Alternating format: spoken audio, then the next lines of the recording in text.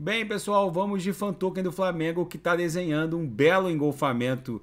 É, esse candle de hoje, dia 27 de setembro, terça-feira, está tá sendo engolfado pelo candle de ontem, 26 de setembro, segunda-feira. Vocês vejam que esse abraço aqui está dando aso ao início de uma onda corretiva. Se a gente considerar que depois dessa longa acumulação triangular aqui, deixa eu aumentar para vocês verem, é, ele explodiu numa grande onda 1, isso aqui teria sido uma onda 2, isso aqui uma onda 3, que levou o fan token para 2.90 na máxima, e agora a gente deve iniciar uma onda 4 bem lateralizada. É possível até que ela, que ela dê um beijinho, essa onda corretiva dê um beijinho na linha superior da nuvem na projeção, para aí sim se desdobrar numa onda 5, que deve levar o fan token para algo entre 3,40 talvez 4 dólares. Então isso aqui seria uma onda 1, uma onda 2, uma onda 3, uma onda 4 e uma onda 5.